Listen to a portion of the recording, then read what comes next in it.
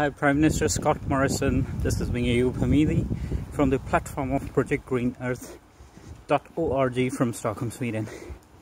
My main motive from this video message is we really need to phase coal, oil, and gas out of our energy equation.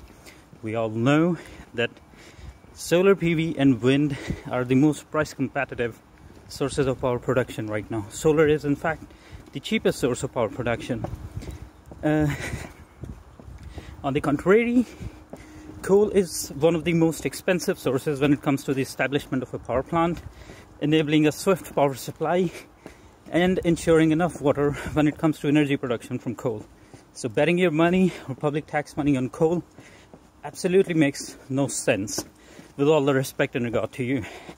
So I firmly believe that you really need to invest or bet Australian tax money on coal, or on solar and wind in fact. coal should be out of the equation. Betting public tax money on coal makes no sense as we've talked before or explained before. So solar, wind is the way forward and should be the way forward.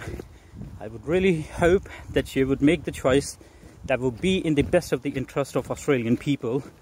And the one of the policy steps that makes sense right now is to phase coal out and oil out from the energy equation with this video message thank you so much for your attention and please implement the policy that makes the most sense when it comes to energy production in Australia and that is betting your money on solar PV and wind power. Thank you so much all the best and have a nice weekend. Ciao